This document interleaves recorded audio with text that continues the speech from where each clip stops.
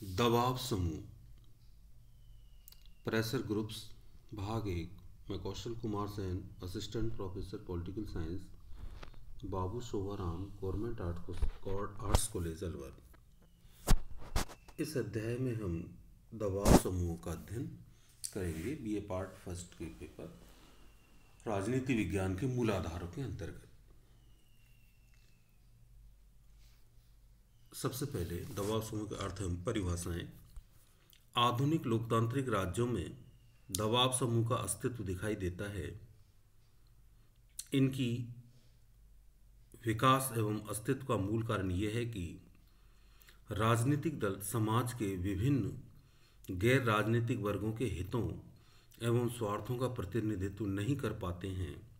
अतः समाज के विभिन्न आर्थिक, सामाजिक, धार्मिक अथवा सांस्कृतिक वर्ग अपने हितों की प्राप्ति एवं रक्षा के लिए अपना समूह बना लेते हैं। इन समूहों की रचना किसी वर्ग द्वारा अपने हित की प्राप्ति एवं रक्षा के लिए की जाती है। अतः ऐसे समूह को हित समूह कहा जाता है। किंतु जब यह हित समूह अपने हित की रक्षा एवं वृद्धि के लिए राज्य की विधायी एवं प्रशासनिक क्रियाओं को प्रभावित करने लगते हैं तो इन्हें दबाव समूह कहा जाता है। दबाव समूह सामाजिक, सांस्कृतिक तथा धार्मिक तो हो सकते हैं, किंतु वर्तमान काल में आर्थिक व व्यावसायिक दबाव समूह अधिक प्रभावशाली एवं प्रचलित हैं। इस विवरण से विदित होता है कि लोकतांत्रिक सरकारों में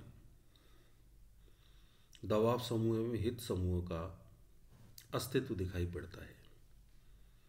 जब क्योंकि राजनीतिक दल समाज के सामान्य हितों का प्रतिनिधित्व करते हैं, किंतु समाज में रहने वाले गैर राजनीतिक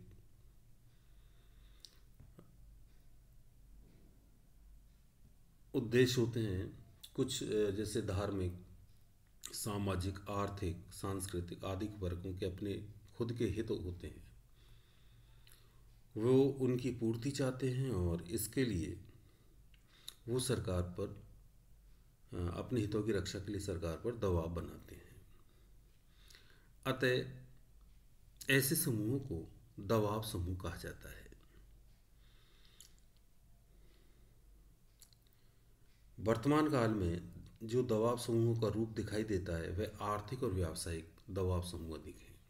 अर्थात, आज आर्थिक एवं व्यावसायिक आधार पर समाज में विभिन्न व्यवसायों के संगठन बने होते हैं, जो अपने हितों की पूर्ति के लिए संसद एवं कार्यपालक अर्थात सरकार की नीतियों को प्रभावित करते हैं और अपने हितों की पूर्ति करते हैं।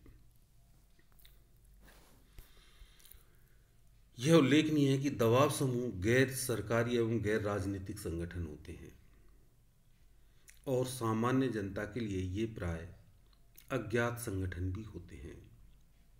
किंतु राजनीतिक व्यवस्था के संचालन एवं राजनीतिक व्यवस्था के संचालन पर उनका अत्यधिक प्रभाव दिखाई पड़ता है।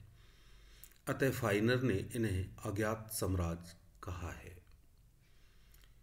दबाव समूह गैर सरकारी एवं गैर राजनीतिक संगठन होते हैं और सामान्य लोग राजनीतिक दलों के बारे में जान सकते हैं, लेकिन क्योंकि ये विशेष व्यवसायों से संबंधित होते हैं या विशेष धार्मिक वर्गों से संबंधित होते हैं तो कुछ लोग जिनके हित इससे जुड़े होते हैं, वो ही इन्हें जानते हैं।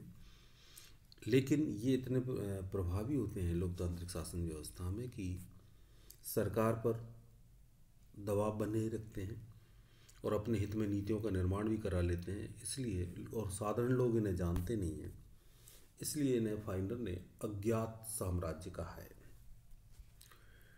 कुछ परिभाषा हैं, जैसे ऑडीगार्ड के अनुसार, एक दबाव समूह ऐसे लोगों का औपचारिक संगठन है जिनके एक अथवा अधिक सामान्य उद्देश्य होते हैं और जो घटनाक्रम को विशेष रूप से सरकार के नीति निर्माण एवं प्रशासनिक कार्यों को प्रभावित करने का प्रयत्न करते हैं ताकि अपने हितों की रक्षा में वृद्धि हो सके। तो ओडिगार्ड ने भी यही बताया है कि दबाव समूह ऐसे लोगों का औपचारिक संगठन होता है तो ऐसे लोगों द्वारा बनाया जाता है जिनके हित एक जैसे हों, सामान्य उद्देश्य हों और जो अपने उद्देश्यों की पूर्ति के लिए सरकार की नीतियों के निर्माण को, सरकार के सॉरी सरकार के संसद की नीतियों के निर्माण को और सरकार के प्रशासनिक कार्यों को प्रभावित करके अपने हितों की वृद्धि करते हो या पूर्ति करते हो इसी प्रकार माइनर विनर ने कहा है कि दबाव समूह से तात्पर्य शासकीय व्यवस्था के बाहर किसी भी ऐसे ऐच्छिक किंतु संगठित समूह से है जो शासकीय अधिकारियों की नामजदगी अथवा नियुक्ति, सार्वजनिक नीति के निर्धारण, उसके प्रशासन और समझौता व्यवस्था को प्रभावित करने का प्रयास करती हैं। माइनर वीनर ने भी दबाव समूह की परिभाषा के अंतर्गत बताया कि ये सरकार के बाहर एक ऐसा इच्छित लोगों का संगठन है, जो सरकार के निर्माण सार्वजनिक नीतियों के निर्धारण अर्थात जो सामान्य कानून है, उनका अपने हित में बनवाना, उसके प्रशासन समझौता व्यवस्था को प्रभावित करने का प्रयास करते हैं। मतलब पूरी सरकार की कार्य प्रणाली को अपने हित में प्रभावित करने का प्रयास करते हैं। परिभाषा के आधार पर दबाव समूह के प्रमुख लक्षण इस प्रकार हैं कि इनकी सामान्य जो विशेषताएँ वो क्या नज़र आती हैं कि पहला, विशिष्ट हितों से संबंध। इनकी पहचान का पहली विशेषता है कि दबाव गुटों का संबंध विशिष्ट मामलों से होता है। उनकी गतिविधियाँ विशिष्ट लक्ष्यों की प्राप्ति तक ही सीमित होती हैं। तात्पर्य है कि ये अपने विशिष्ट हितों के लिए संगठित होते हैं और उनकी पूर्ति चाहते हैं। दूसरा गैर राजनीतिक संगठन है। इन क्योंकि इनका संबंध सार्वजनिक हितों की अपेक्षा निजी हितों से होता है।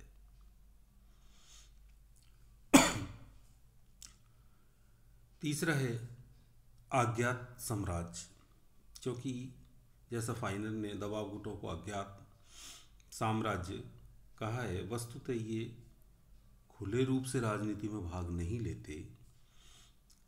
ये अदृश्य ढंग से राजनीतिक निर्णयों को प्रभावित करने का प्रयास करते हैं।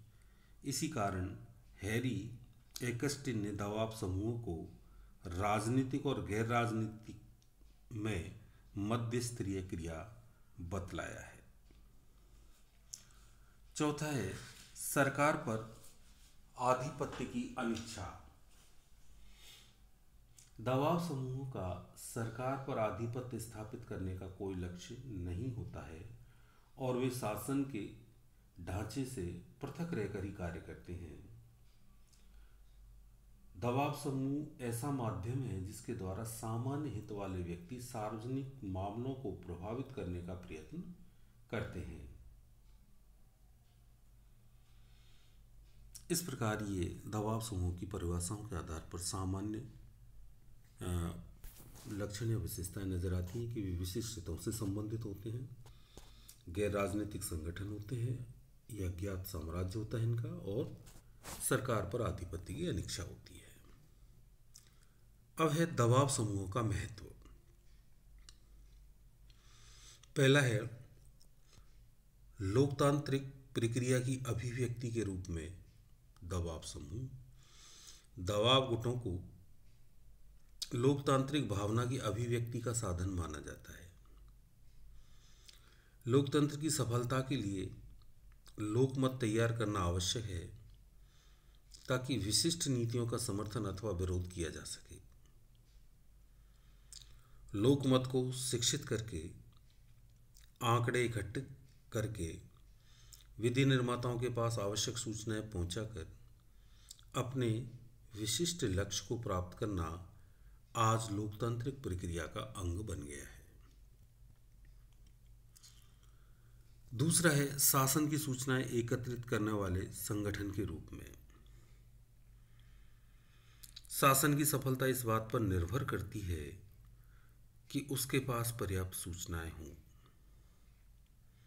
शासन की सूचनाओं के गैर सरकारी स्रोतों के रूप में दबाव समूह महत्वपूर्ण भूमिका अदा करते हैं। दबाव समूह आंकड़े इकट्ठे करते हैं, शोध करते हैं तथा सरकार को अपनी कठिनाइयों से परिचित कराते हैं। तीसरा है, शासन को प्रभावित करने वाले संगठन के रूप में। वर्तमान में दबाव समूहों का अस्तित्व एक ऐसी संस्था के रूप में है, जिसके पास इस दृष्टि से काफ़ी शक्ति होती है कि वह हित विशेष की रक्षा के लिए सरकारी मशीनरी पर उपयोगी व सफल प्रभाव डाल सके। चौथा, सरकार की निरंकुशता को सीमित करना। प्रत्येक प्रकार की शासन व्यवस्था में केंद्रीकरण की प्रवृत्ति बढ़ रही है और समूची शक्तियाँ सरकार के हाथों में केंद्रित होती जा रही हैं। दबाव समूह अपने साधनों द्वारा सरकारी निरंकुशता को परिसीमित करते हैं। पांचवा है समाज और शासन में संतुलन स्थापित करना। राज्य में दबाव समूह की उपस्थिति का एक लाभ यह है कि विभिन्न हितों के बीच संतुलन सा बना रहता है। और इस प्रकार कोई भी एकमात्र प्रभावशाली सत्ता उदित नहीं हो पाती है। व्यापारी, श्रमिक, किसान, कर्मचारी, जातीय और धार्मिक समुदाय आदि सभी अपने स्वयं के हितों को प्राप्त करना चाहते हैं, किंतु उनको एक दूसरे से प्रतियोगिता करने के लिए मजबूर किया जाता है। इससे समाज और शासन में अनूठा संतुलन स्थापित हो जाता है। अगला है, व्यक्ति व सरकार के मध्य संचार के साधन। दबाव समूह व्यक्तिगत हितों का राष्ट्र हितों के साथ सामंजस्य स्थापित करते हैं। ये समूह नागरिक और सरकार के मध्य संचार साधन का कार्य करते हैं। और अगला है विधानमंडल के पीछे विधानमंडल का कार्य। दबाव समूह विधि निर्माण में विधायकों की सहायता करते हैं। अपनी विशेषता तथा जागरूकता के कारण ये गुट विधि निर्मात्री समितियों के सदस्यों को आवश्यक परामर्श देते हैं। इनका परामर्श और सहायता दोनों ही इतनी उपयोगी होती कि इन्हें विधानमंडल के पीछे विधानमंडल कहा जाने लगा है। तो इस प्रकार ये दबाव समूह के महत्व है कि ये आंकड़े एकत्रित एक इकट्ठे करते हैं, अपने हित में नीतियों को प्रभावित करते हैं, विधानमंडलों की कार्यप्रणाली को प्रभावित करते हैं। और लोकतांत्रिक प्रक्रिया को स्वस्थ बनाए रखते हैं। अब है दबाव समूह एवं राजनीतिक दल। अर्थात दबाव समूह राजनीतिक दल में हमें क्या अंतर दिखाई देता है? दबाव गुटों और राजनीतिक दलों के बीच स्पष्ट भेद करने की कठिनाई, गुटों की परिभाषा तथा वर्गीकरण की समस्याओं से जुड़ी हुई है। ब्रिटेन और अमेरिका में दबाव गुटों और राजनीतिक दलों के बीच गहरा संबंध नहीं पाया जाता, इसलिए वहाँ इन दोनों के बीच भेद करने की समस्या दूसरे उदार प्रजातंत्रों जैसी उग्र नहीं होती। विकासशील देशों में दल पद्धतियों की कमजोरियाँ भी दबाव गुटों और राजनीतिक दलों के बीच भेद को धुंधला कर देती हैं। तात्पर्य यह है कि ब्रिटेन और अमेरिका में राजनीतिक दल और दबाव समूहों में स्पष्ट भेद दिखाई देता है। किंतु उदार लोकतांत्रिक जो व्यवस्था है, विकासशील राज्यों की जो व्यवस्था है, वहाँ राजनीतिक दल और दबाव समूहों में भेद स्पष्ट नज़र नहीं आता। किंतु राजनीतिक दल और दबाव समूह में अंतर है। पहला, राजनीतिक दल चुनाव में भाग लेते हैं। दबाव समूह चुनाव में अपने प्रत्याशी खड़े नहीं करते हैं।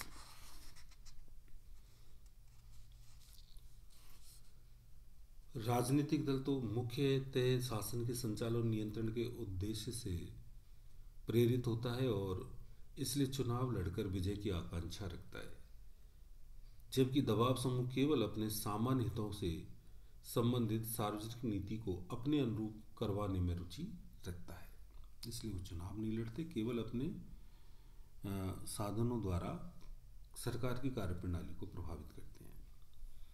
दूसरा है, राजनीतिक दल का विस्तृत संगठन होता है, जबकि दबाव समूह छोटे होते हैं। सामान्यतः राजनीतिक दल का दबाव समूह की तुलना में बहुत बड़ा संगठन होता है, जो लाखों मतदाताओं की सक्रिय समर्थन की प्राप्ति का उद्देश्य रखता है। क्योंकि उसका अंतिम उद्देश्य सरकार बनाना होता है। किंतु दबाव समूह एक छोटा सा संगठन होता है और केवल थोड़े से ही व्यक्ति इसका समर्थन करते हैं। वही व्यक्ति इनमें सम्मिलित होते हैं जिनके हित परस्पर समान होते हैं। तीसरा है, राजनीतिक दल का विस्तृत उपदेश होता है, जबकि दबाव समूह के उद्देश्य संकुचित होते हैं। राजनीतिक दल सभी हितों के व्यक्ति सम्मिलित होते हैं, राजनीतिक दल में। उनका देह विस्तृत हो जाता है। दबाव समूह में एक विशिष्ट हित से संबंधित व्यक्ति सम्मिलित होते हैं, अतः उनका देह सीमित और संकुचित होता है। तो उद्देश्य की दृष्टि से भी इनमें ये अंतर पाया जाता है। चौथा, राजनीतिक दल विधानमंडल में कार्य करते हैं, जबकि दबाव समूह विधानमंडल के बाहर कार्य करते हैं। राजनीतिक दलों का कार्य क्षेत्र विधानमंडल होता है यदि बहुमत वाला दल है तो सरकार बनाता है, और अल्पमत वाला दल है तो सरकार की नीतियों का विरोध करने के लिए विपक्ष में बैठता है। किंतु दबाव समूह का कार्य क्षेत्र विधानमंडल के बाहर होता है। प्रत्येक विधायिका भवन के साथ लगे हुए कमरे या बरामदों को लॉबी कहा जाता है, जिसमें विधायिका के सदस्य अवकाश के समय बैठते हैं। इस समय दबाव समूह के प्रतिनिधि उनसे मिलने आते हैं। उनसे बातचीत करते हैं और अपने दृष्टिकोण एवं विचारों से उन्हें प्रभावित करने का प्रयत्न करते हैं। इस प्रकार दबाव समूह लॉबिंग का कार्य करते हैं जो आ, अपनी हित की पूर्ति के लिए सरकारी सदस्यों को प्रभावित करते हैं और अपने हित में नीतियों का निर्माण कराते हैं। अगला है साधन संबंधी अंतर। राजनीतिक दलों से यह आशा की जाती है कि वे संवैधानिक साधनों को ही अपनाएँगे। अर्थात प्रत्याशी खड़े करेंगे, चुनाव का प्रचार करेंगे, अपने एजेंडे को जनता के सामने रखेंगे, अपने पक्ष में मत प्राप्त करेंगे और सरकार बनाएँगे। संवैधानिक तरीके से ये साधन अपनाएँगे। जबकि दबाव समूह द्वारा संवैधानिक और गैर संवैधानिक सभी प्रकार के साधन अपनाए जा सकते हैं। अगला है सदस्य संबंधी अंतर। कोई भी व्यक्ति एक समय पर एक ही दल का सदस्य हो सकता है। जबकि एक व्यक्ति के एक समय पर उतने ही दबाव समूह के सदस्य बनने की।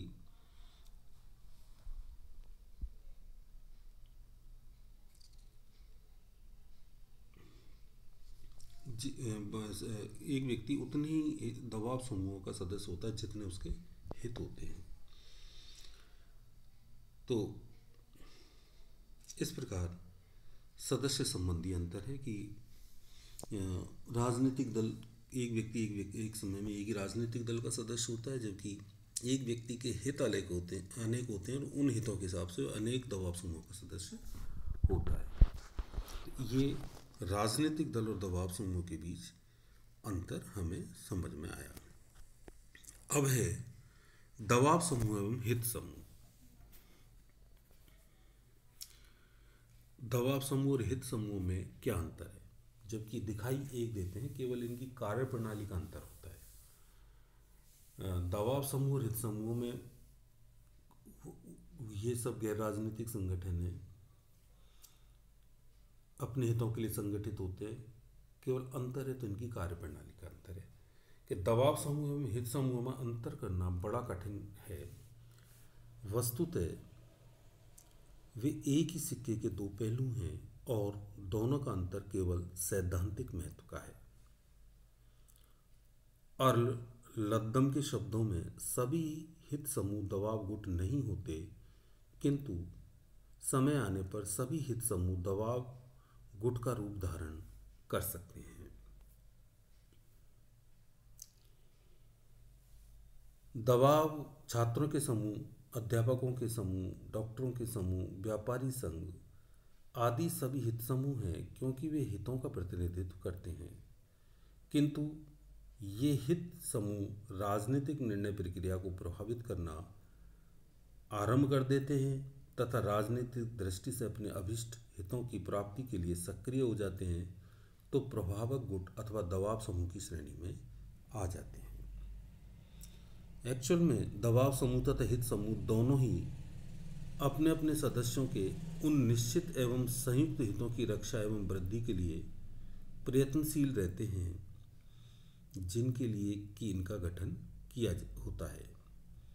किंतु जहाँ हित समूह अपने हितों की प्राप्ति के लिए सदस्यों के आपसी सहयोग पर निर्भर करते हैं तथा अपने पक्ष में सार्वजनिक नीतियों के निर्माण के लिए सरकार से अनुनय एवं अनुरोध की नीति में विश्वास रखते हैं, वहाँ दबाव समूह अपने हितों की प्राप्ति के लिए, अपने सदस्यों की कठोर एकता व संघर्ष क्षमता पर निर्भर करते हैं, तथा अपने पक्ष में सार्वजनिक नीतियों के निर्माण के लिए सरकार पर दबाव डालने के तरीकों एवं तरकीकों, तरकीबों में विश्वास करते हैं।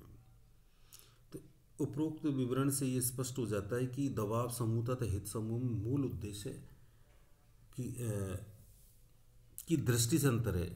अपितु साधन एवं से अंतर नहीं है। उद्देश्य की दृष्टि से अंतर नहीं है। दोनों का अपने हितों की पूर्ति चाहते हैं, लेकिन दोनों की कार्य प्रणाली की दृष्टि से अंतर है, जैसा मैंने अभी आपको बताया। उदाहरण के लिए जैसे सभी सामाजिक व्यावसायिक समूह मूलतः हित समूह होते हैं। क्योंकि वे अपने सदस्यों के किन्हीं विशिष्ट हितों का प्रतिनिधित्व करते हैं। किंतु जो हित समूह अपने हितों की सिद्धि के लिए अनुनय के स्थान पर दबाव की नीति अपनाते हैं और इस प्रकार अपने हित में सार्वजनिक नीति के निर्माण का प्रयत्न करते हैं, उन्हें दबाव समूह कहा जाता है। शेष, अगले अंक में धन्यवाद।